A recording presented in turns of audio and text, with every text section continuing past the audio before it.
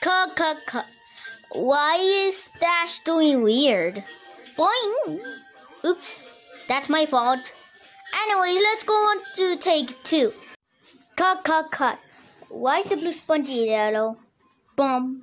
Uh, that means we're gonna fix this. Sure, yes. Anyway, let's go on to the next take.